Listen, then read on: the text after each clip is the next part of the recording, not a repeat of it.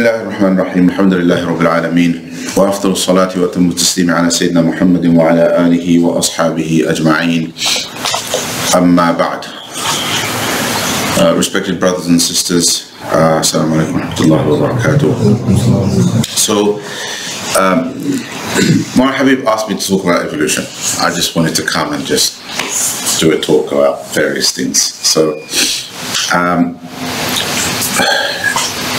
and you always have to be careful when you're speaking about a subject that's not really your area of expertise. And I'm not, you know, I, I don't have a background in science and so on. So you have to kind of read up and be careful and make sure that you're representing the ideas accurately, which is always difficult because quite often that doesn't happen.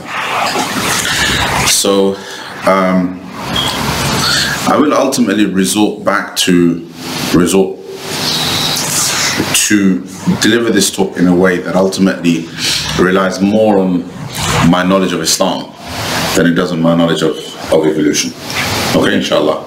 And I'll, I'll explain. Uh, you, you'll see how I do that. So, so firstly, um, why? I mean, why has Mawlana Habib asked me to talk about this? Why is it even relevant? Um, and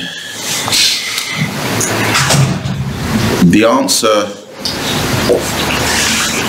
comes from you know from from multiple perspectives and there's lots of layers to it firstly because we live at a time when the theory of evolution uh, is extremely popular uh, most people you encounter will tell, depending on who you speak to, basically. If you speak to somebody who is a bit of a kind of uh, uh, a secular atheist kind of ideologue um, for whom evolution is the nail in the coffin of religion, right? Then absolute evolution, evolution, evolution is the greatest idea ever. I think, in fact, in fact, one of the four uh, new atheist kind of horsemen, Bennett, I think, Bennett or Dennett, Bennett, he said that actually. Evolution is the greatest idea in human history, something along those lines.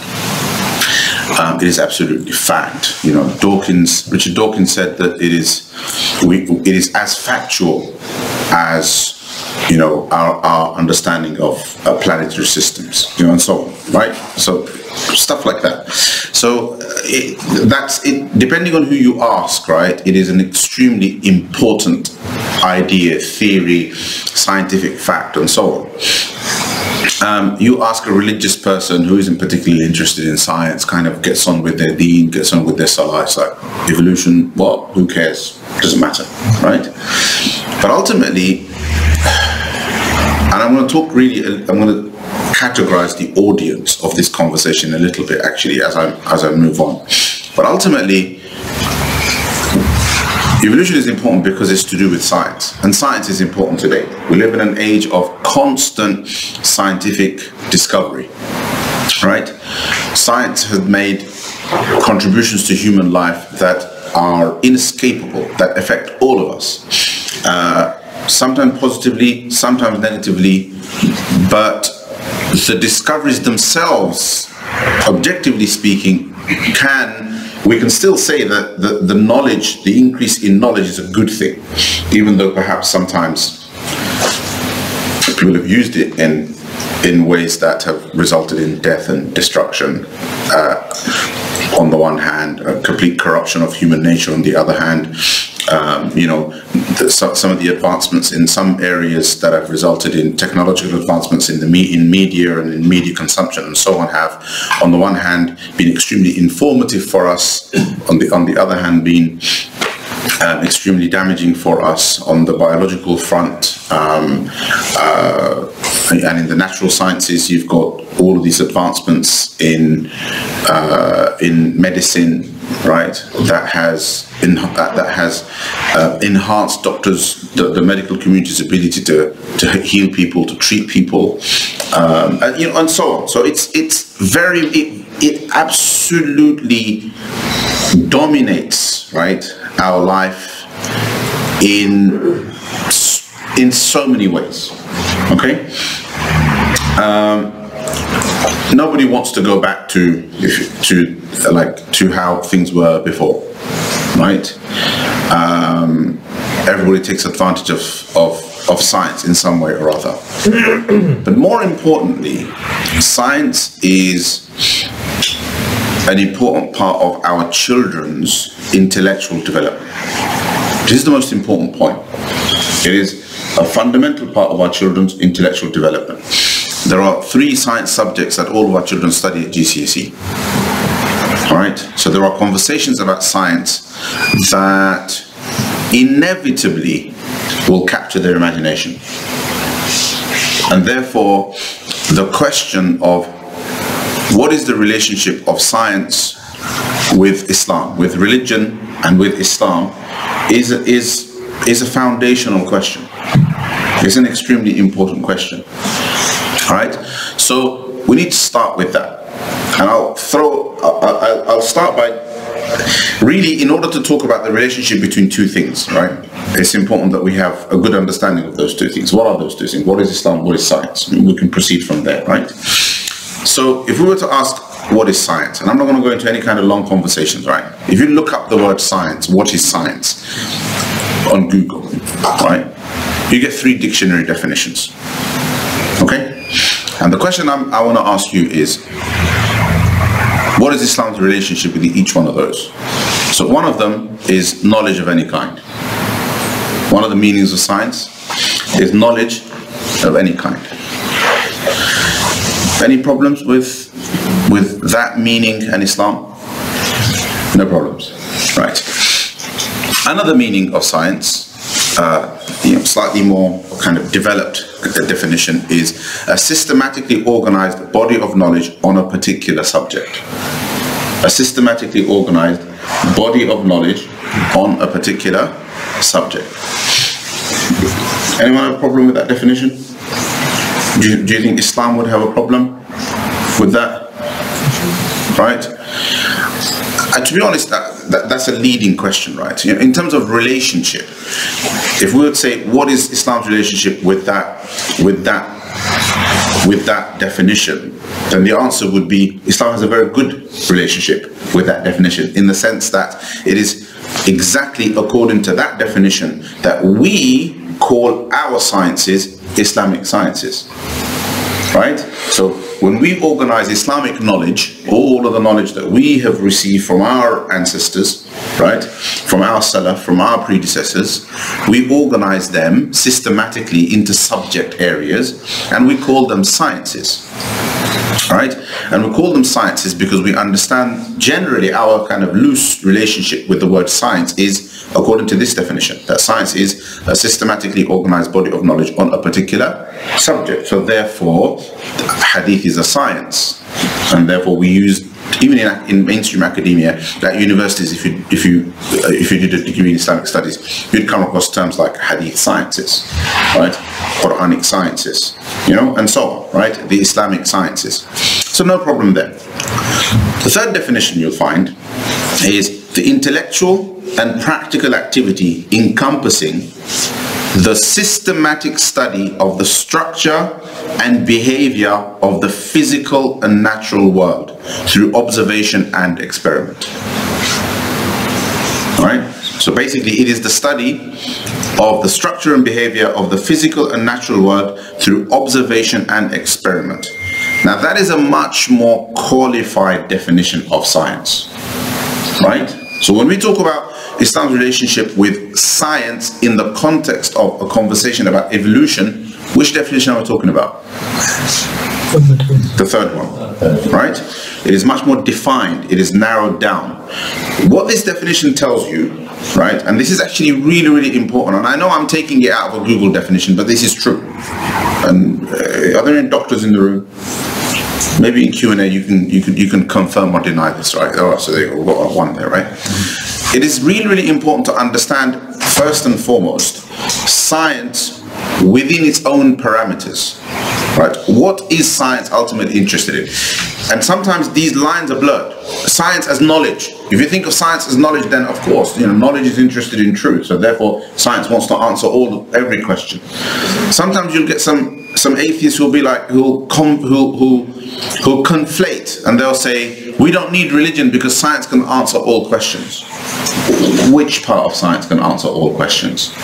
Biology is certainly not going to answer all of the questions about reality because it has a very specific parameter outside of which there are an infinite number of things right? Chemistry is not going to answer all of your questions because it has a very specific parameter. Chemistry is interested in certain things outside of which you have an infinite number of things. So it can't, you, you know, it, it, can't answer all questions, right? But then you say, oh, but no, we're talking about science, not chemistry or physics or biology or particular area, but science itself. But over here too, do you mean science as in knowledge of any kind? Or the systematic study of any subject of all sciences, is that what you mean? Then yes, we agree, right? Science can answer all questions, but that's not really what you mean though, is it? So it's a conflation. What you mean is the natural sciences, right? Because the natural sciences has certain discoveries that are presumed to clash with religion, with certain religious truths, and often certain Christian religious, religious truths right? You know, it has a particular relationship. Science has a certain historical relationship with Christianity. With Islam, it's slightly different, although we have our own issues as well. So there's a whole question of history. So the point over here is, if we take that definition, you realize that generally when you think about science and scientific developments, etc., etc., then it's really to do with the physical and natural world. Not just that, but also it is limited to a certain methodology. It's not just about studying those two things, but it's specifically studying those two things through observation and experiment, which is a methodology. Which means, for example, that philosophy isn't science, although you can't really do science without philosophy. It's kind of weird, but you get my point. My point is that philosophy or some of the many topics that are studied in philosophy that are more to do with rationality and logic and so on, and and exploring exploring aspects of reality theoretically, right? That isn't the same as the scientific method, which focuses on observation and experiment. So if your if the subject if your subject focuses on learning the reality of things based on observation and experiment and something is beyond observation and experiment then does your subject cover it does your subject cover it. No it doesn't. So there are things that basically science can't cover or isn't intended to cover. I mean, scientists can dabble in whatever they want, of course, but it, it, it's not in your methodology doesn't it doesn't cover it, or at least to study that aspect of reality using this methodology would be fundamentally flawed right? Because the methodology isn't suited to the to the knowledge that you're interested in so that's extremely important to think about, right? So when we think about Islam and science or religion and science, it's important to ask ourselves, well, what are we talking about? What are we talking about? And then if we're going to ask, does it clash, does it agree? Then fundamentally, there is no clash. At the basic principle of science is interested in this particular thing in this particular way, to study this particular area and using this particular methodology, there really is no problem. Does that make sense? And ultimately, if you want to do a like-for-like comparison, then you have to look at, in the Islamic tradition, how do we study things? Right? In the Islamic tradition, how do we study things? And do the methodologies we use to study certain aspects of reality clash with the scientific method? Do you, do you understand what I'm trying to say? So usually, religions are interested in truth. Religions are interested in reality. If science is also interested in truth and reality, within the same in that in that same broad sense, then we can have a like for like comparison. We're gonna have a conversation. If science isn't interested in truth, isn't interested in reality under that broad spectrum, then it's not a like for like comparison. People are conflating, confusing right?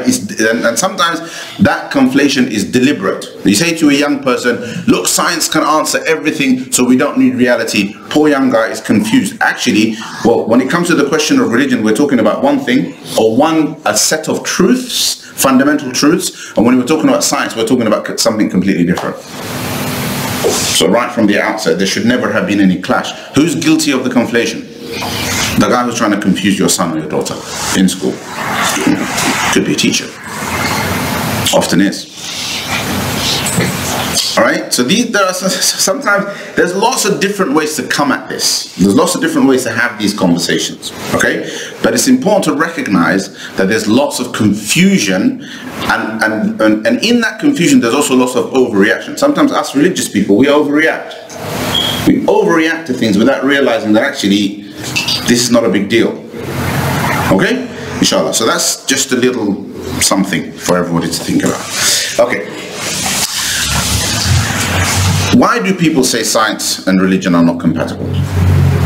People say it. That's why you've invited me to talk about this because it's causing confusion. The confusion stems not really from evolution itself, but from the idea that science and religion not compatible, right? So sometimes it's because some religious people behave irrationally and without knowledge. Would you agree that some religious people do that? Yes. yes. A lot of religious people do that. We behave irrationally, right, and without knowledge. In fact, we don't even stick to the rational principles, right, and the dictates of our own knowledge tradition. Do you understand? And that causes all sorts of problems. And you know who, who it causes the biggest problems for? For our kids. Because let's face it, right? We grew up with a set of assumptions, we've inherited it from our parents, and we've accepted it. Our children have exposure to a particular educational and intellectual environment, right, from a much younger age perhaps than we did. Okay? And they're much more so like my children right? i mean I, I went to school in this country so i suppose i can't but there is still a difference i was much more accepting of my parents authority and their cultural background and heritage out of loyalty out of blind loyalty and also because the way they lived I could see a very, very clear difference between the way they lived their lives and between what I was exposed to in school and what we saw on TV and etc. etc. Right? So, so there was a natural resistance built into me, or into my generation. Okay, I'm in my 40s, by the way. Okay, so we're talking about I went to school in the 80s. And that's the case with generally with people in my generation, right? People in my generation got into crime, right? Committed certain sins, etc., etc. But there aren't too many people in my generation who have left the deen because they were confused about because they were confused by evolution. Do you understand? And there are reasons for that, and that a lot of that is simply to do with just you know, questions of identity, uh, our attitude towards our, our cultural heritage, you know, and so on and so forth. Now, I've now I've raised my children, right? My eldest is 18, going to university next year. Okay, and naturally, my relationship with them is very, very different. First and foremost, there's no language barrier, right? My children's mother tongue is English. They don't, I'm Bengali, they don't speak any Bengali. Hardly. They understand their grandparents, that's about it. They speak back to their grandparents in English. Right? So already those kind of, those barriers that showed me that there is a very big difference between me and them, between me and other people. They're, they're already, even through my own, because of my own assimilation, right, they're starting to erode, all right? They feel much more comfortable as, as English-speaking Muslims. I was going to say brown people, but not everybody's brown. Not all Muslims are brown. all right. So, so you understand my point, right? So they're much more comfortable, right? So naturally, they're more likely to assimilate things from school more readily from school and from Western culture, right? From TV, from media, from books, from all of that all of that information that they now have access to, that by the way, I didn't have access to. So that's a big difference. Just I wasn't bombarded with as much information when I was growing up. So they they they they're, they're able to feel much more accepting. They're much more accepting of all of that stuff. And therefore the only, so they don't have a cultural hindrance. They don't have a cultural barrier. The only thing that gets in the way for them, the only thing that can truly get in the way from that, can truly be an obstacle, is an alternative narrative. Right? Meaning an alternative set of truths, an alternative set of beliefs, meaning it has to be knowledge. Knowledge is really the only way, the only, the only thing that can protect them from the dangerous aspects of what they're taking in at school. It's not culture. They know their parents are different, but they're not they're no longer thinking my parents are different from them. They're thinking my parents are different from me. you, do, you, do you understand what I'm saying? And we need to wake up to this. Right? We need to wake up to this because our, you know, our children, like so we're raising them, etc., etc., and we're like, oh, you're Muslim, you're this, that, and the other, and they're thinking, well, you're kind of different. You understand? Because it's, just generational. Things have changed. Which which means that if we haven't, if we have now, when we say things that are that don't make sense, there's loads of stuff that my parents' generation said that logically makes zero sense. They make no sense. Not based on any kind of universal logic, and they make no sense Islamically. There's all this cultural baggage. Makes no sense. Makes no sense logically, makes no sense Islamically. Right? And I had to go to that I had to go to an Islamic institution to learn that a lot of it was nonsense. Do you understand? Which actually gave me a great deal of protection because I realized actually it's not just from a kind of Western scientific perspective that I'm looking at this and thinking, hang, this doesn't sound right. But actually Islam agrees as well. Do you see what I mean? And, and also you get to realize that actually Islam is very logical. Okay? So so so so one of so the reason that coming back to the original question, and I, I will I do waffle by the way, and I'm really tired, so I'll waffle more. So I have to be a bit more disciplined, which I did, I a few slides just for the sake of disciplining myself. So let's get back to the original question. Why do people say science and religion are not compatible? Well, because some religious people behave irrationally without knowledge. Religious people behave irrationally and without knowledge. And by religious people, I'm talking about us. Because who else comes to the masjid? Don't think it's somebody else, us. Because religious people come to the masjid. Alright? So and the second reason why people say science and religion are not compatible is because some people think science has the answers to everything, so we no longer need religion and scripture. And here we have to differentiate between science as a methodology, right, for learning things, for studying things, and science as an ideology. Science as an ideology.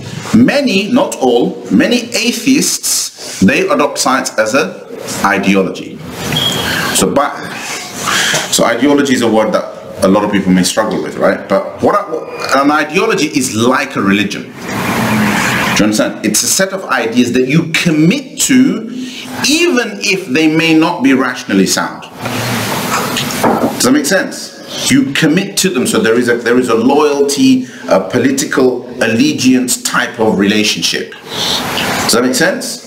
right? And often, and people's relation, let's face it, people's relationship with religion is sometimes like that. It's often like that, right? Most ordinary people, their relationship to religion is more based on, more based on loyalty and identity. It's it's to do with me because it's my religion, and that's really where a lot of their commitment comes from. Spirituality, etc., comes after. In Islam, your spirituality comes because you practice the religion. Allah gives it to you. Does that make sense? But it doesn't mean that the basis of your religiosity or your religiousness is knowledge. It often isn't. It's often just your own identity. I am a Muslim, so therefore I better pray. Okay? It becomes intellectual when you study the proofs of your religion. It's only when you study the proofs of religion that it becomes intellectual. But as long as you, as long as you're just adopting what your parents told you, or adopting what your teachers tell you, or adopting what the Maulana tells you, right? Then it's more to do with loyalty and following others, which is exactly the case with many many people and their relationship with science and their relationship with evolution. It's really important to understand this. Just because somebody is spouting, all of you young people, just remember this, right? Just because somebody is coming and talking to you about science and talking to you about evolution doesn't mean they know what they're talking about. And doesn't mean it's based on knowledge, right? And if, if they're if they're like if it's like an atheist type person, then 9 out of 10 is based on ideology. That means they don't believe in this stuff because they're truly convinced. They believe in this stuff because they must. Because is the only way they can justify their atheism.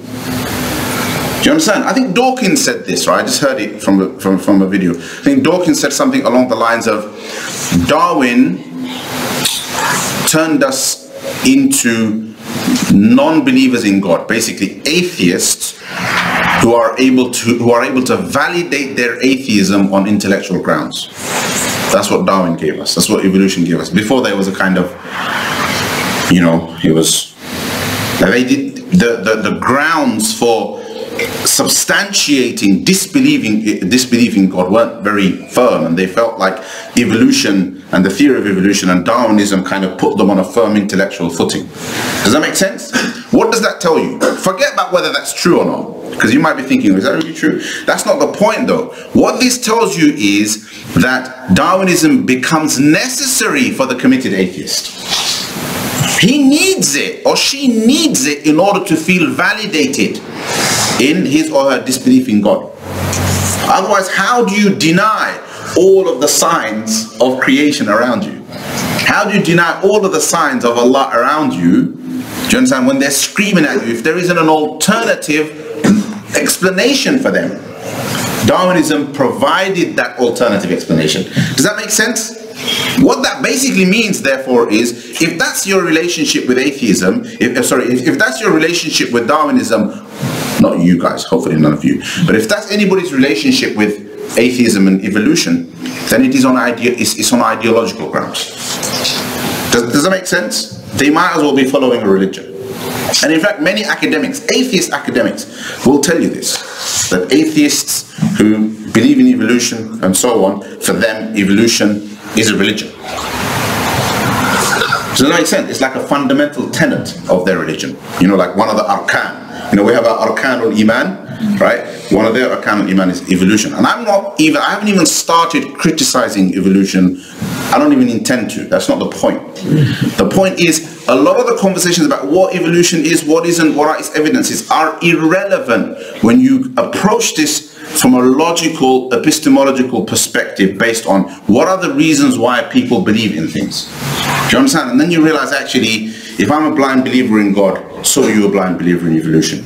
So we're on an equal footing. Ha! If you are truly somebody who believes in evolution based on knowledge, based on science, and I am truly a person who believes in, in, in religion based on evidence, and therefore also based on science. Remember our definition of science? And also based on science, then we can talk. Otherwise, lakum dinukum waliyadin. Does this logic make sense? Right. By the way, we all need to teach our children logic. It's really, really important. I don't mean logic in any kind of controversial kalami sense or anything like that. Just logic. Just how to think. Right, that's really, really important. Okay. So, so, so ideology, so evolution and ideology, science as ideology, right? So science as ideology is called, there's a name for it. What's it called? It's called scientism. It's called science, scientism. Science is a method of inquiry, a method for studying the natural world. That's science, right? It's neutral, it's value neutral, it's open to everybody. We can study it as Muslims. We, we can value it as Muslims, nothing wrong with it, right? Science is not scientism. Science is an ideology. Although the, ideo the, the ideologues or the scientism people sometimes make it out as though science is only for them. It's only theirs. It's their jaidat. Basically, it's their personal, you know, it's their inheritance or something like that. But it's not. Science is neutral. It's for everybody. It's a, it's a, it's, it's just, it's just knowledge. Okay, we've got no problems with that. Is that, is that understood? Yeah. There's no clash between religion and science. Okay. Now, let's talk about audience. This is very important because without this, I don't want you guys thinking about evolution. I don't want you guys studying. I don't want you reading about it without first thinking about this. Does that make sense? So when we think about science, or particularly when we think about the theory of evolution, it's important to think about who am I? Who am I and what is my relationship with evolution? Right? So I've come up with four categories. You can maybe have as many categories as you like. The first is ordinary Muslims who, who are like not particularly bothered. It makes no difference to them. Okay? Now, in truth, objectively speaking, in truth, whether you believe in evolution or you don't believe in evolution, does it make any difference to you? No, not really. Make any difference to you? Anyone? Does it make any difference to you in your life? Do you end up with less food on your plate, more food on your plate, earn more money, earn less money? For most people, it makes no difference to them. It makes zero difference to them. And even the science makes zero difference to you. Meaning, anything factual about the theory of evolution that contributes something to science, right? There's probably no reason to reject, reject it, religiously speaking. I can guarantee you there'll be no reason to reject it from a religious perspective. There'll be no problem. There'll be no contradiction whatsoever. Anything that is factual that actually informs current science, right? Anything that is theoret theoretical, there's probably multiple explanations for it.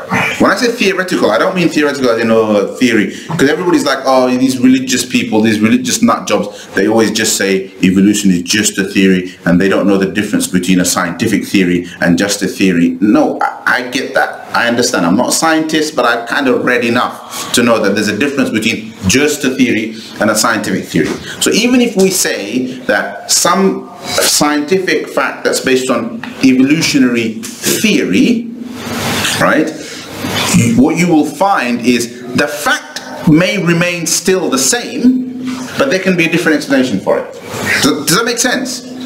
Right? And I'll, there's a, the, the most important one I'll talk about in a minute. Okay, so for most Muslims, if you're not bothered about evolution, if you never knew anything about evolution, right, it wouldn't affect you. You're bothered about it because of your children. Does that make sense? Right. Second category, Muslims who've studied science and evolution at a basic level and are further curious. That's our kids. That's people who've been educated in this country. People who've done uh, chemistry, physics, biology, GCSE, maybe done a maybe done an A level or, and so on and so forth. We've studied science and evolution at a at a basic level. That's the qualification at a basic level, and therefore remain curious about it. So when the question comes up, religion, atheism, religion, evolution, religion, science, they're like, oh, I studied to be a science. Okay, what's that about? Right? So they have a certain, they have a kind of curios, curiosity about it. Right? Naturally, they would have because it's something they have some familiarity with. Okay. Number three, Muslims who are professionals in the scientific world. Doctors, pharmacists, people who are scientists in a lab, etc., etc. Now, just because you're a doctor or, or, or, or, a pharmacist or even a scientist, it does not necessarily mean that your day-to-day -day engagements as a doctor have anything to do with evolution. You, you understand what I'm getting at? Meaning that there may be lots of things that in your practice as a doctor, a treatment that you give, etc., etc., that is based upon a certain assumption within evolutionary theory, but it doesn't affect you right now because most likely what you're prescribing right now is based on something far more recent, a piece of policy, NHS policy. Does that make, do you understand what I'm saying? It's the way in which medicine is practiced for people is doesn't have a great deal of research involved. Doctors have to learn. They do some of the theoretical work in their undergrad and, their, and early in their postgrad and so on. And then a lot of it is to do with the practice of medicine. Did you say you're a doctor? Does this make sense? Do you understand what I'm saying? Right, good. So now, chances are that if you're an academic in the scientific area and you're researching questions that directly interact with evolution, then it's different. Then evolution has an impact on you intellectually on a regular basis. Yes? Right. Finally, there are Muslims for whatever reason, for whatever reason, right? It could be because you know they study. It could be because out of their own personal curiosity, etc., etc. It could be because they watch too many YouTube videos. They are Muslims who are convinced by evolution and they believe in it. They are convinced by evolution and they believe in it. Four categories of people. Anybody want to contribute another one? Any others? Four categories of people. Okay? This talk and some of the things I'm going to say in this talk really is about is is is, is going to try and provide a solution for the final for the last category. People who believe in evolution right? I'm really some of the things i'm going to discuss is for them. Everything else i'm saying everything i've, I've said so far is for all of the other categories. It's for everybody else. And you know what? You can walk in here thinking, I wonder what Sheikh is going to say, and then walk out and never think about it again. It won't make any difference to you. It won't make any difference to your iman. It won't make any difference to your life. It won't put more petrol in your car. It won't put more, more, put more food on the table. It won't make any difference to you. It doesn't matter. For the most part, evolution doesn't matter. So, if you look at it from that perspective, right? Islam versus versus evolution, it becomes a non-issue, doesn't it? It's a non-issue. If you never thought about it, Allah never commanded you to think about it, you're okay. And the akhirah, did you find out about evolution, is not going to be asked. Is this, is this, uh, is this understood? Young people, you studied evolution in school, but you're going to go become an engineer. All right? In the future, you're going to go become a lawyer or something like that. You, you probably never revisit it again. It doesn't matter. The thing that bothers people is how is is substantial, but epistemologically, okay, I keep using these words. Okay, so the thing that bothers people is much more simple notions like if it's not true, why do so many scientists believe in it? That bothers people. That bothers young people, right? That bothers our kids. That why do so many scientists believe it? Why is it that my science teacher believes in it? Right? I had one kid who was, who was convinced by evolution. He was doing his A levels. He'd already left Islam. He was doing Umrah with me. Already left Islam, right? And he was like, you know, hardcore science, evolution, etc., etc. And it was all down to his science teacher who was mentoring him. Ultimately, he was following that guy. That's it. He was following that guy. He's blindly following his science teacher, and then he gets some of it. He actually gets some of it. You read. I tried to last few days in preparation for this course. I tried to read up on evolution, what it actually is. I was reading an, an academic book on it, and I was like, "Really, is, is, is that what all the fuss is about?" I can't. I'm a fairly intelligent guy. And I was thinking, there's no way some kid's gonna read this and like, yeah, I got it. I know exactly how life works. It's not gonna happen. All right, it takes it, it it's because there's so many holes in the narrative. All right, maybe I'll talk about that a bit. So, the the really the concern is with young people, adults, people from the science community who are who believe in evolution.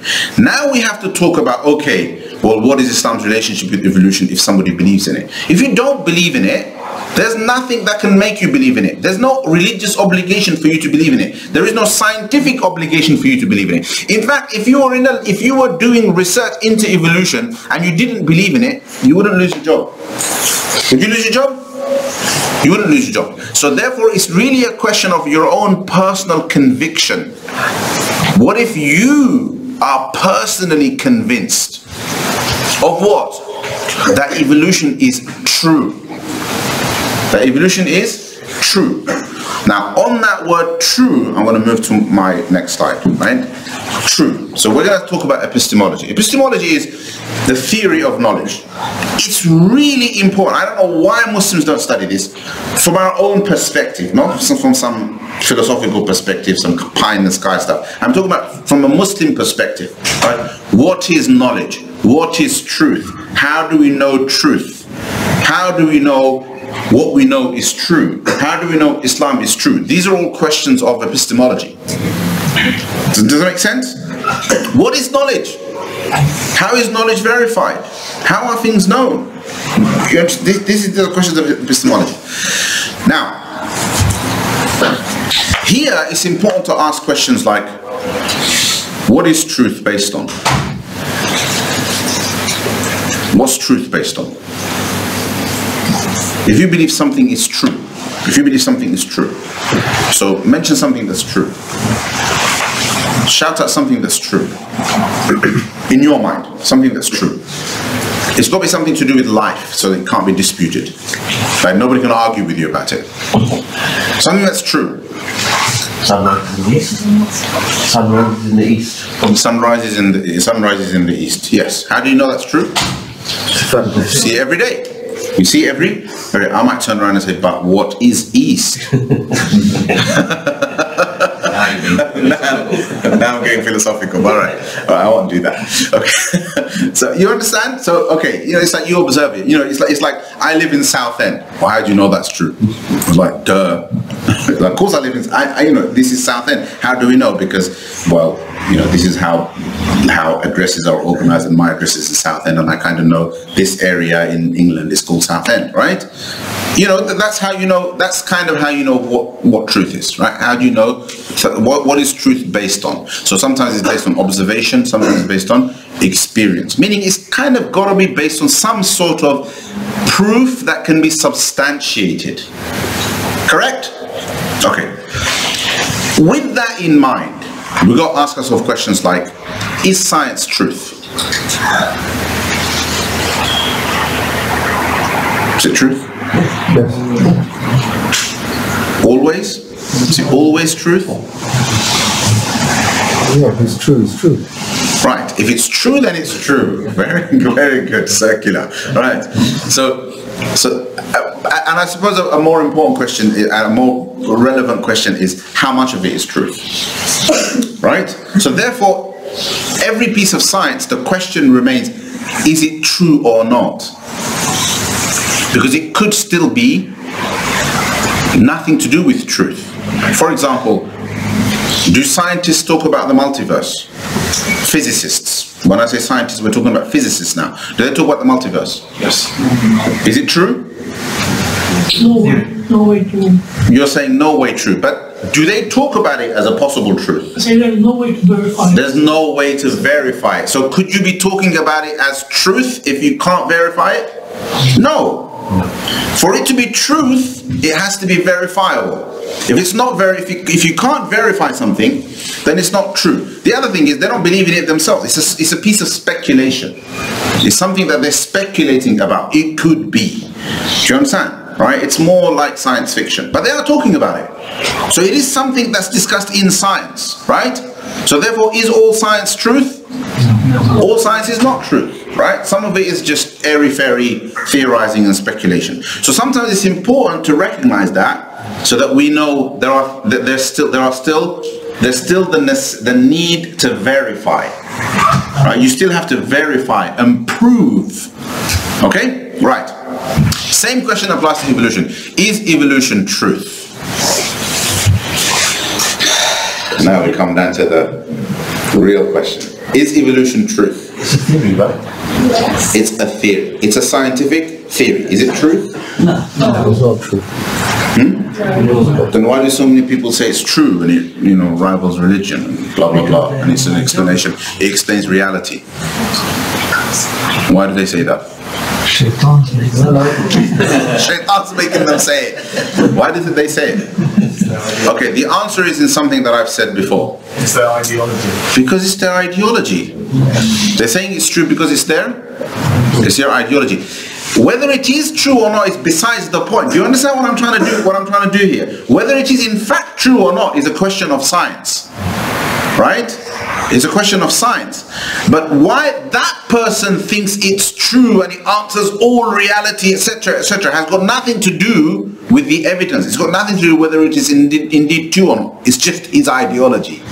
That's it, right? He is as blind, deaf, and dumb as the next man. It's just his ideology.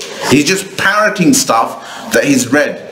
You know, like they say, oh, you know, but they they've done it in, in they've seen it in labs and they've done this and they've done that and the the, D, the you know the, the, the genome proves it. etc. Did you see it? You haven't seen it. You just read somebody's book. The point is, you're not a scientist. You can't verify that information. You're just following what somebody else says. Right? Oh, but then that. So, so yeah, but that's what you do as as a religious person. Well, it's fair enough. But as long as you admit that, then we can just part on equal terms. You understand? Ideology is ideology. Sometimes religious people are also ideologues. We, we have to accept that, right? You don't want to be an ideologue. You want to you want to believe in Islam based on hujjah, based on proof. Go seek knowledge. Go and seek knowledge, and you you will you'll you'll arrive at Islam based on knowledge, okay, and based on proof, right? So we can then go on and say, is is science, is evolution, is it probable knowledge? Probable knowledge is something that is proven to the point that you feel like it is most probably true. That's probable knowledge, meaning most likely. It's most likely to be true, meaning more than 50% is true. Does that make sense? So that's I'm asking the question: Is it probable knowledge, or is it simply the the most probable current scientific theory? And if you look at how evolution is understood in the academic world, not in popular consumption, not Richard Dawkins evolution, not YouTube videos, right? Not atheist uh, kind of narratives, yeah? It's not, not apologetics, not debates. If you look at actually what academics in universities say about, about evolution, they'll say something similar to that last bit. That to the best of our current knowledge, right, it is the most probable current scientific theory. Current scientific theory. So what does that current bit mean? It means it can change. It means it can change. And already there are bits of evolution that mainstream atheist evolutionary biologists at universities based on their research are already challenging about evolution, about Darwin, about, about Darwin's theory. You understand? It doesn't take long to find this stuff out if you if you just put in the right search. Do you, do you understand? It is simply the, mo- the most probable. So as far as we know, based on the information we have now, we believe evolution or evolution is a probable theory.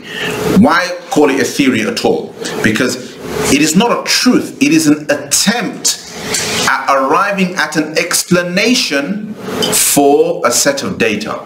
For a set of data. We've got all of this data. The data doesn't speak. So I'll give you an example, right? So you all know, most people know nowadays, I don't have to break it down uh, to this level, right? That the evidence for evolution is in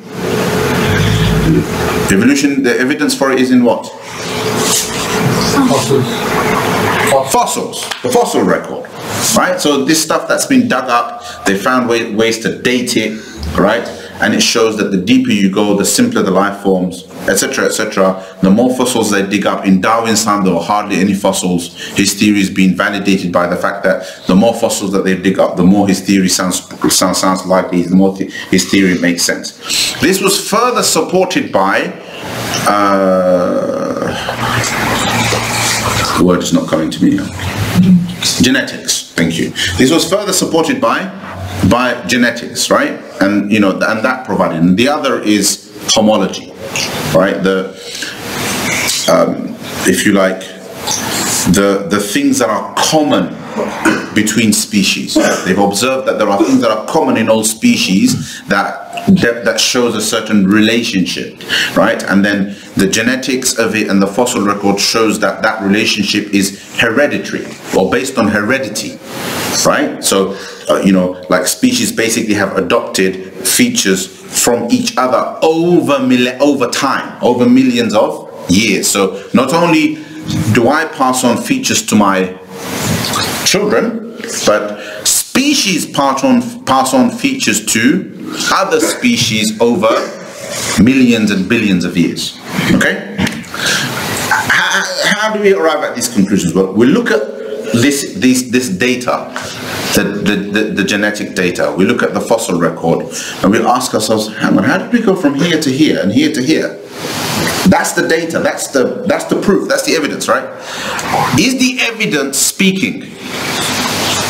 Is the fossil going, ah, Mr. Dawkins, well, actually, you know, I'm this particular species, and then I passed on this particular feature to that particular species, the one that's sitting over on that desk over there. Did the, did the fossil record speak? It didn't. So what had to happen? What happened? It had to be interpreted. It had to be interpreted, right? So the most current probable theory is when the in, they come up with an interpretation that seems to be scientifically the most likely explanation for all of this data. Do you understand how it works? Now tell me, can something like that be truth? Can something like that be truth? It could be. It could be, but you could never know, could you? Any claim to truth would simply be a claim.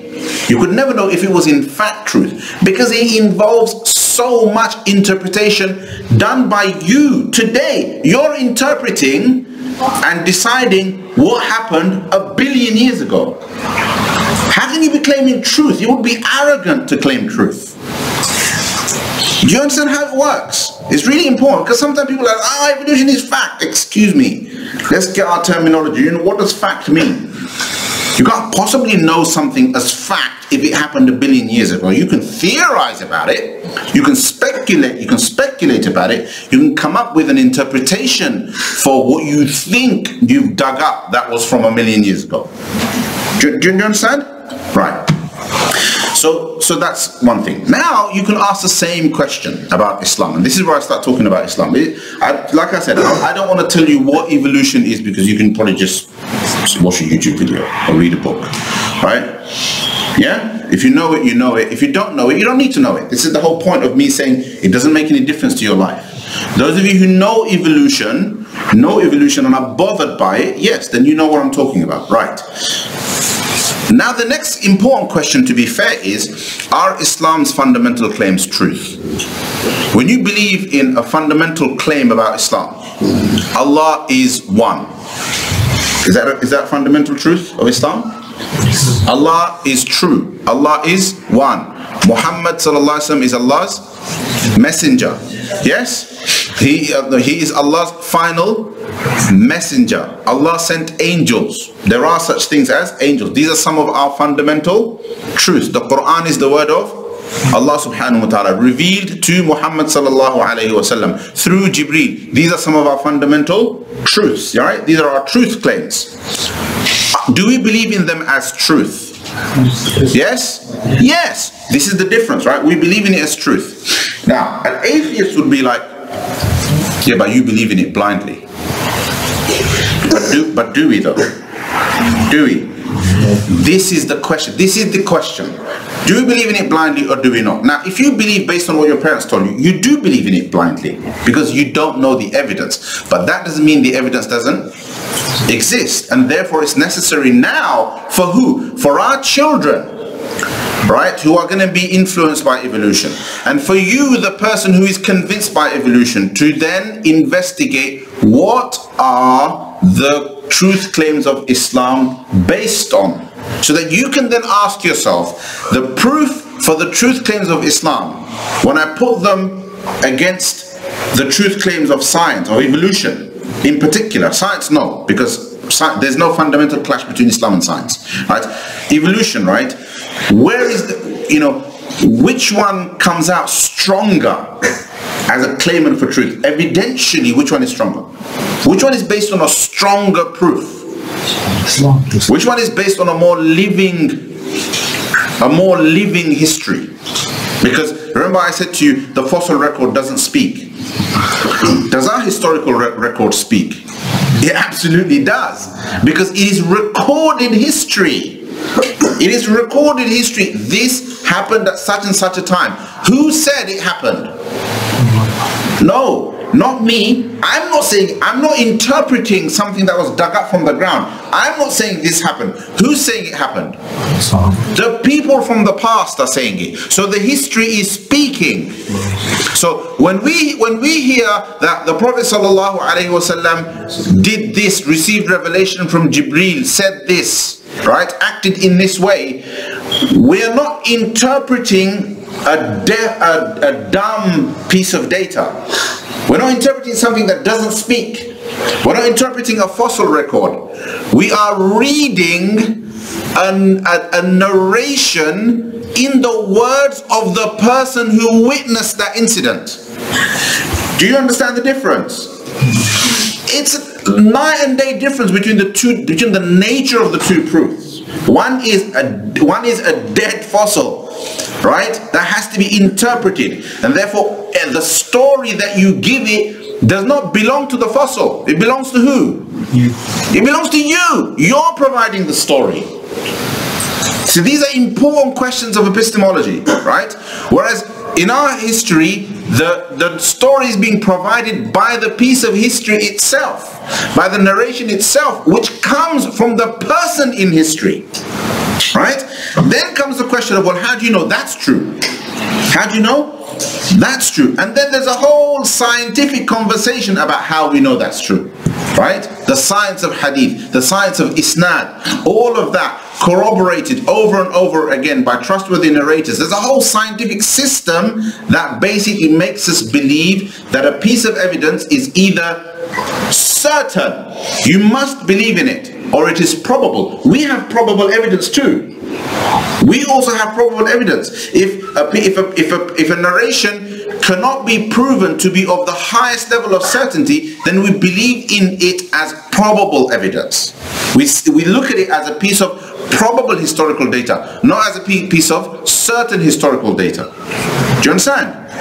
And our fundamental beliefs, Allah, the Prophet, angels, some of our fundamental, the Quran, are, are not based on the probable information, but based on the, the certain information. Does that make sense? This is how, what is the difference between, a, in the Hanafi madhab, right? What is the difference between a fard and a wajib? A lot of people don't know this, right? But what is the difference between a fard and a wajib? Practically no difference, right? You have to do both of them. Yes? So then why, why two different terms? Why two different terms? Very simple. It's to do with the fact that the fard is based on a certain piece of information. It is based on a certain piece of information like a verse of the Quran. The wajib is based on a probable piece of information. So because of the strength of proof, the fuqaha felt the need to differentiate. Do you understand? And how do we differentiate? One, you must believe in and practice. The other, you must believe in and practice, but if you didn't, you will still retain your Islam. Whereas if you disbelieved in a fard, you wouldn't retain your Islam. You would have apostated. Why? Because you're disbelieving in something that is certain. Whereas over here, you're disbelieving in something that is probable. So we have these, these layers, these different levels of, of evidence and so on. Now, obviously, I can't tell you all of it now. But if you were to study it, I guarantee you it would be far more convincing. What I guarantee you, it will be far more convincing than evolution. so when you stand with the two things in front of you, you're going to be like, okay, I'm supposed to disbelieve in that, which sounds, which come, which is stronger, for this, which is weaker. If you did do that, okay, let's just say, brother, what's your name? Um, Muhammad Kabir, Brother Muhammad. Let's just say Brother Muhammad, he studied Islam's proofs and he studied the proofs of evolution, right? And he came to the conclusion that Islam's proofs are more convincing to him. They seem to be more certain. They provide him with greater certainty than the proofs of evolution. Now, if he still doubted Islam's truths based on apparent contradictions in evolution, would that be logical? Would it be logical? It wouldn't be logical because you're believing in something that you yourself consider to be more certain. Right? If you're believing in something that you yourself consider to be less certain over something that is, because that's logical. That's it's, it's not logical. It's illogical to do that, right? Now, what am I saying to you is that this is because the reason why, why I do I do it like this is because I don't want you to just follow things because I said so. Because then you're just blind following, right? If you are the guy that is convinced by evolution, right? If you're the person that is convinced by evolution and you believe in it, don't you owe it to yourself to make and, and you and, and how hang on. You believe in it and you think it clashes with some aspect of religion right then don't you owe it to yourself to find out what the truth claims of islam are based on and what those evidences are based on right If you don't, then you're then regardless of how strong the proof for evolution is, your behavior is irrational. Right? And you are acting like an ideologue rather than a seeker of truth. Does this make sense? And this is how I want to come at this. The rest of you, you don't believe in evolution, no problem. Don't think about this ever again. Right? It's not going to affect you in your life. But if you do believe in it, then obviously there is a conversation to be had. But the first thing you've got to do is you've got to think epistemologically and you've got to ask yourself, okay, I need to investigate Islam's claims to truth. I know all this stuff about science, but what do I know about Islam? Nothing. Well then I'm sorry, the, whether or not there is a contradiction is irrelevant. Right? The contradiction in your own head, right, It's based on nothing. Because you don't know anything about Islam. You don't know anything about Islam's claims to truth. So the problem is a subjective one, meaning within the person who feels conflicted about religion because of his belief in evolution, there is a problem if that person doesn't know what Islam's truth claims are based on. Does that make sense? Within that person, there is a problem. There is an irrationality.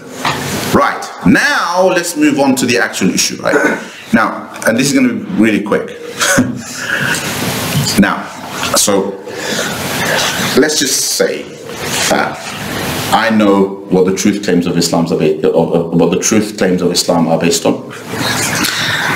So first of all, actually, this is hypothetical because I'm one of those guys that's curious about evolution. It makes no difference to me. It makes no difference to me whether it's whether I believe in it, don't believe in it. If somebody says, "Do you believe in evolution?" I'll be like, "It's interesting." I meaning that I have no, there's not, there's, I, there's no imperative within me that makes me feel the need to believe in evolution. Does that make sense? Doesn't impact my line of work. So for me, it's just curiosity. The stuff I know about evolution is more to do with curiosity than it is to do with truth. I'm not interested in evolution as a truth because I don't believe there is a fundamental clash. However, as somebody who believes in the truth of Islam, and given that there is a claim that it clashes with Islam, it's necessary for me to investigate what that clash might be. Does that make sense? Okay, so evolution as a theory and Islam, right? Principally, the, the, the, the actual clash between the two, in if, if, if, a, per, if a person, remember it's to do with a person, it's to do with you if you believe in it. The actual clash is really only in the question of Adamic creation in the question of the creation of Adam salam, right? Because first and foremost, right, if somebody, like Islam doesn't tell us if we were created by evolution or something else. Islam just says Allah created us, right? Theoretically, hypothetically, theoretically, without the data, without the proof, or, or, or with the, if, if hypothetically tomorrow, we all agreed with the scientists. All the Muslim scholars in the world decided, you know what? The science is compelling. And let me tell you the only way in which they could legitimately do that, based on our methodology, our epistemology. They could only legitimately do that if the Muslims did the science themselves. If we did the science ourselves, in our own labs, right? Did our own research, checked all of the data ourselves, right? Then decided, yes, absolutely, it's compelling. Do you understand? You know, evolution is true. If that did happen, hasn't happened, won't happen, but let's just say it happened. If that did happen, right, then Muslims would simply believe, oh, so Allah created Allah created biological creation based on evolution. That's it. Does, does that make sense? That's it.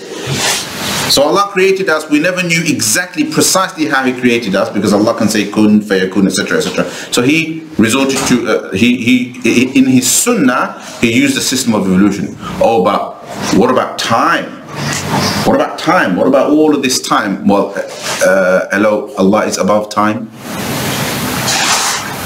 Allah subhanahu wa ta'ala transcends above time. Time is nothing to Allah subhanahu wa ta'ala. What is a what is a billion years to creation is nothing to Allah because Allah subhanahu wa ta'ala is above it. Allah manipulates time.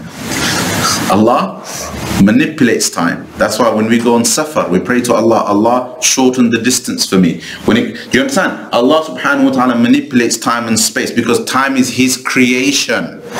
You understand? So the question of time is irrelevant to Allah subhanahu wa ta'ala. I'm being completely hypothetical here. If Muslims having studied, Muslim scholars having studied the evidence decided evolution is true, that's all it would be. But then here comes the clash. The clash then would be, but what about the what about the fact that Allah says He created Adam salam by His own hand? Because Allah does say that in the Quran. He says Allah subhanahu wa ta'ala created Adam salam by His own hand. How would you reconcile Allah creating Adam by His own hand if He created everything based on evolution? Right? So we would say, well, Adam is the exception. Adam is the exception. What's the problem? Adam al-Islam is the exception. Banu Adam. Banu Adam is the exception. There was all of this evolution going on in the world. And Allah subhanahu wa ta'ala created Adam, created Hawa, put them in Jannah, then put them on the earth. Can science disprove that?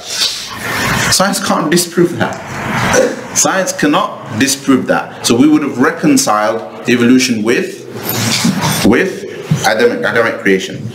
Now, obviously, the, the, the big white elephant in the room is do we need to do that? Do we need to do that? We don't need to do that. We don't need to do that because we are not dealing with a rival truth. We are not dealing with a rival truth. However, if you, Mr. Zaid Amar Bakr, you, right, as a science person, if you feel like it is a rival truth, in your mind, evolution is true, and you are conflicted because you want to believe Islam is also true, and you want to know if there is a way to reconcile the two, well, that's a possible method. So the question of reconciling isn't relevant to everybody. Do you understand? Because evolution isn't relevant to all of us. It doesn't bother all of us. It bothers some people. Right? For those people, they have to, before they even think about reconciling, before they even think about reconciling, they first have to find out what Islam is based on. What Islam's fundamental truths are based on. And it may well be that their reconciling is simply going to be based on, you know what, this is the truth, this is just some theory. So I'm just going to carry on engaging with it as something that is really interesting. Do you understand? If, if, if it turns out to be truth, the day I think it's truth, that's the day I'll think about how it can be reconciled. For now, it's not truth, so I don't need to worry about it. You understand? That is a far more logical way to deal with this than all this fuss. It's like, you know what? It's exactly like getting caught up in advertisement. You know, something's being advertised and you're like, yeah, I'm gonna go buy it. I'm gonna go buy it. Do you understand? Just you're being hoodwinked. You don't need to think everything matters to you when it doesn't. It doesn't matter to you, right? It might matter to you individually because within yourself there is a contradiction. Then you deal with it. If within yourself there is a contradiction, then you, you deal with it. The way you do that is first you find out about your deen. First you learn about your deen. Then secondly you think about reconciling it with this other thing that you think might be truth.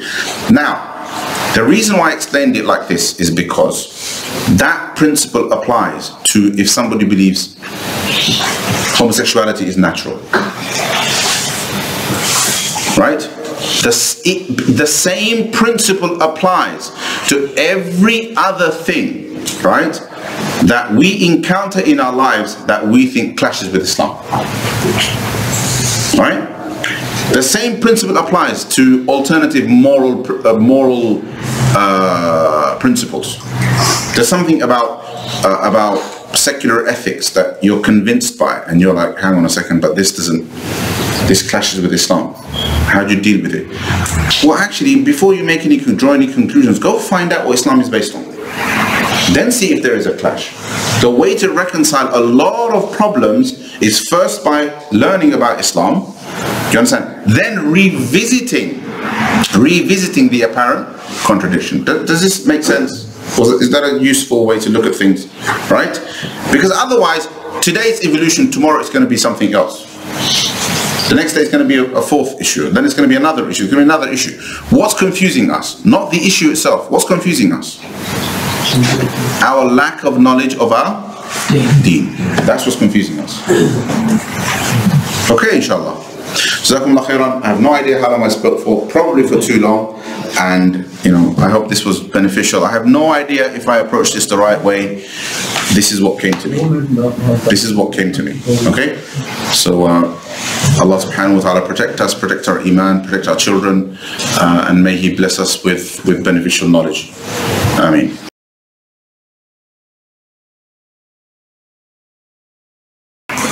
Uh, just uh, while there's no, not enough time, I want to just say that is what my perception is.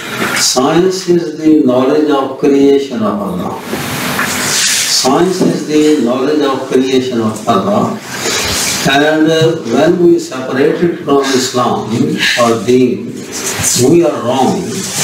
Deen, what we is referred to is knowledge of Deen. That is a part of Islam as well. But I just give you example. For example, if there's a car and car needs petrol, its tire needs uh, inflation, the uh, air in there, and there are so, so many complex machinery. But Deen is the like driver. So the driver can take the car for robbing or for good deeds. Similarly, everything, the whole science is really knowledge of creation of Allah and things can be distorted. Even religion is distorted. There are so many firqas in our religion. So they are against each other. Some call the others kafir and some call them. So uh, this is something which we need really. Uh, I can discuss another time, but this is something which is we must not say Islam uh, science is separate or this or that. I mean, the people who go for Hajj, there are some people doing uh, this um, uh, going around this ambulance, circumambulance. Uh, some of them are pickpockets. They are just stealing, so that doesn't mean they are doing ibadah or they are doing hajj or um, whatever. So inshallah, I don't want to take more time. Just that was. No, there's there's no contradiction. Basically, there's no contradiction between Islam and science. Okay, inshallah. I'm going to encourage the sisters to get their food. Um, and we'll take, if the sisters have questions, I'll be around there. You can ask me or you can shout out from the back. Uh, is there any questions from the, from the brothers? Any questions? No. he wants food. Get lost. Uh. Uh, so question, I mean, it was a beautiful talk, mashallah. Uh, so any questions which people have about the talk or generally, um, even if it's like on a more practical level, how can we, like one of my things is maybe, or what I would be interested in is if our solution is to understand our religion better, then which sciences Okay. would change our perception? Because honestly, we're not taught Islam come to that. on a deep level. So obviously in this masjid we kicked off with Tajweed and Arabic and we're thinking about what maybe sciences we could delve into as well. So this is something of a personal mission of mine. Right, I believe that across the board, Muslims, particularly uh, uh, our ulama, our imams, our teachers, it goes without saying. I think we, we know some of it, we've learned it in our Islamic sciences, but we have to mold it into a logical narrative that makes sense to today's sort of uh, minds. So our ulama, our imams, parents, um, and, and, our, and our particularly teens, right, from 13, 14 upwards, as their intellect matures, we need to study the proofs of Islam. Okay? Now, proofs of Islam, there's lots of ways to approach it, right? The way I approach it, um, the way I approach it is very similar to how I addressed today's talk, right? So would you recommend like conviction circles? Something like that. Yeah, like, like what we do in what we do uh, uh, in, in Chelmsford, or Brother Sabir does in Chelmsford. So th- those that made that kind of topic. So, for example, um, what are the thi- what are, what areas of discussion talk about Islam's fu- fu- uh, fundamental truths? And it's not aqidah as you know. You know, usually people are like, oh, we have to study our aqidah, right, or our beliefs. But often when we study our beliefs, we don't study them from a truth perspective, but we study them as content of Aqidah, meaning we believe in X, Y, and Z. And then very quickly we move on to sectarian Aqidah. We believe in X, Y, and Z, and so and so deviant because they believe in something different. Does that make sense? That's kind of how Aqidah moves. The question of proof is a different kind of question. Now people will be like, yeah, it's true because it's in the Quran. Do you understand? But any person, particularly in today's day and age, would be would ask the question, well, why is the Quran true? Do you understand? Oh, well, the Quran is true because Allah, because Allah revealed it. But how do you know that's true? Do you understand? And it's these questions that have to be answered. And the, the answers, honestly, when it, when it comes to this stuff, Muslims stand on the shoulders of giants. Our ulama have done a stellar job when it comes to answering these types of questions. It's just that a lot of it just hasn't been articulated very well to, to our community. It's not traveled down to the community level because we have we've kept knowledge of Islam given to children in particular at such a basic level, right? That we never even go anywhere near that stuff.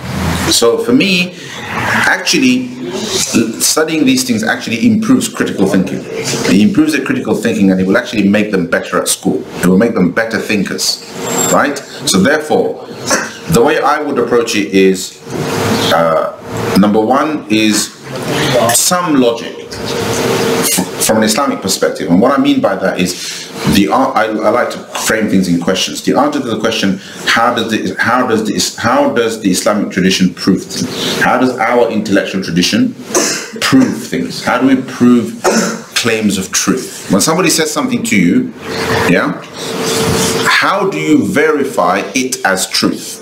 Does that make sense?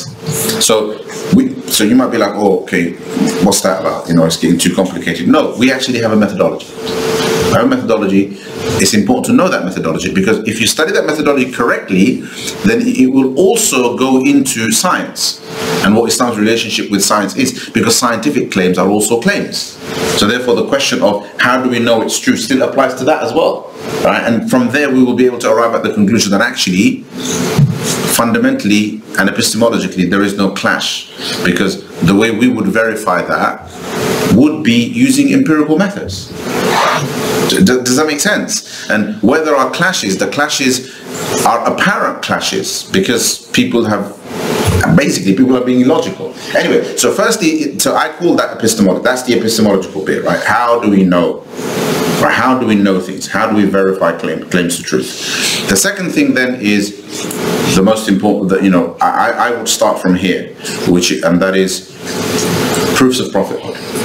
Why is Muhammad sallallahu alaihi wasallam a true prophet of Allah? Again, very well covered. You know, ulama have there's some ulama and some some counts of proofs of prophethood exceed a thousand. I think Imam al-Bayhaqi said something like thirteen hundred. Something crazy like that, right? But obviously, proofs of prophethood have to be based on, have to be authentic. They have to be. That's something that needs to be always verified and checked.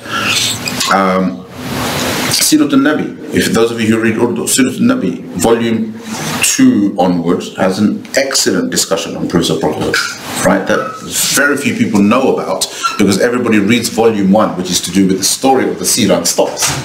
Right? Like, we read the story of the Sirah, mashallah, alhamdulillah, they put it down.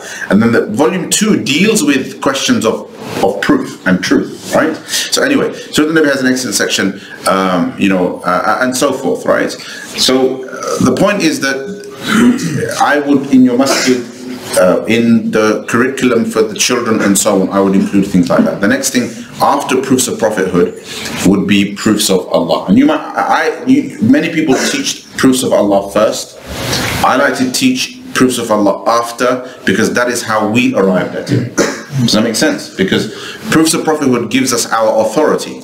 And most Muslims, particularly Muslims who are born into Islam, we arrive at our truth through authority because our parents teach us, our teachers teach us, and we come to believe in it. So it's important to recognize how authority works. Essentially, the authority that your parents have, based on which you believe their religion is true, isn't really their authority. It comes from the Prophet. It comes from believing that the Prophet is a true Prophet of Allah. It's called Sidq al-Mukhbir. The idea that the one who told us about Allah and about Islam and about the Quran is truthful. i.e. Muhammad sallallahu alayhi wasallam. And from there we go to belief in Allah subhanahu wa ta'ala. So therefore we would have an authority-based proof in Allah subhanahu wa ta'ala which is through the Prophet wasalam, and then and the Quran of course and then from there we move on to rational proofs for the existence of Allah subhanahu wa ta'ala which is common in all religions right from there we can then talk about um, things like uh, what are the issues in today's times that cause doubts in the minds of Muslims and what are their answers. These are some of the key things that need to be included in our conversations, in our dialogues, in our talks, particularly in our curriculums, right? And what we teach in madrasas and so on. And adults and young people alike need to study these things if we want to deal with the the kind of woke onslaught, this this crazy kind of normalization of LGBT and it being forced down our children's throats so that our children are forced to agree and accept and validate and so on and so forth, things that are basically kufr, right? How do we protect our children from that if their natural inclination often is to is to feel connected to the left, to the political left, because we are a minority. So when they feel connected to the political left, they feel they also need to come up with a way of thinking that can also defend the rights of other minorities, such as the LGBT uh, people, right? And nobody's talking to them about how that kind of what their faith has to say about all of this, what Islam has to say about all of this. Nobody's talking to them about that. So they they oscillate between acceptance to homophobia. Do you understand? And neither of them is, a, is an acceptable position from an Islamic perspective. Do you, do you understand what I'm saying? So it needs to be based on knowledge, and knowledge only comes through teaching, uh, through learning and teaching. Right? So knowledge comes from uh, come from actually engaging in education. It doesn't come from YouTube video consumption, right? And that means it has to come from teachers, you know, in masajid, in schools and so on, right? And parents have to engage in these conversations. Dialogue kind of matures thought, right? And that dialogue isn't happening. Nobody has time for dialogue because everybody's playing computer games and so on and so forth. And parents can't dialogue with their children about these things because they don't have the knowledge themselves, right? So parents need to need to also learn these things. For the younger kids in an age appropriate where we can introduce some of the basic concepts. For older kids, it needs to be taught properly uh, and systematically. And personally, this is what I do. I, run a mentoring program called the Youth Mentoring Program for 14 to 18 year olds, and I basically teach this stuff to them. All right, a couple of hours a week. It doesn't clash with their GCSEs. It doesn't clash with their busy schedules, and we cover this stuff. Uh, a couple of youth programs like that, and for adults, I run um, a course called How to Protect Our Iman in Today's Climate that covers these things, and basically I run them online off of my website called Mawarid Lifestyle. So even now that I'm an imam in Chelmsford, one of the things that I bring kind of to the masjid as an imam is is these kind of things. So I'm trying to incorporate these things into the madrasa curriculum as well as try to impart them to the adults and so on. And that's and the thing is I can't educate everyone. So I ask I, everywhere I go I say to imams, become familiar with this stuff, teach to the community, including into the in, into your madrasa curriculum. Sheikh Nord is the big issue is known like on social media, on WhatsApp and these things, people just without any verification yeah. or authenticity, yeah. just share the things that yeah. without any. Yeah, so this is why I said if you teach young people about epistemology and how we verify things, how we verify truth, then why would they ever believe in something that they picked up on social media?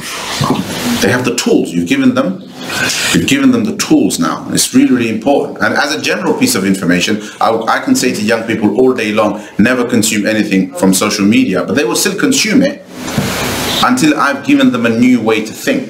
Because at the moment, they think in terms of quick pleasure, right? Social media isn't so much knowledge seeking, but more about the experience that they get out of that, right? And then that soon that crystallizes into into knowledge and assumptions and so on.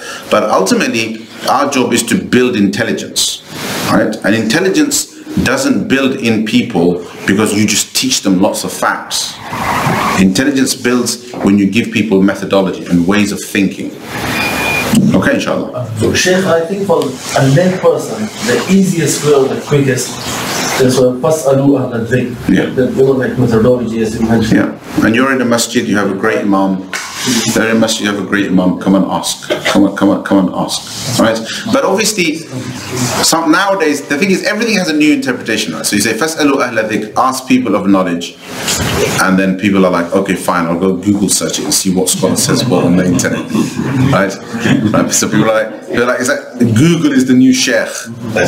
You know, it's like go ask Sheikh Google, and then Sheikh Google refers you to Sheikh so and so and Sheikh so and so and Sheikh so and so. They all give four different answers, and you're like, okay, now what? Now, now I'm confused. Sheikh Google has confused me. So therefore, go with people you can have a contact with, you can who you can go back to, who you can talk to, and that's your your local scholar, right? Your local imam and so on. Okay, inshallah.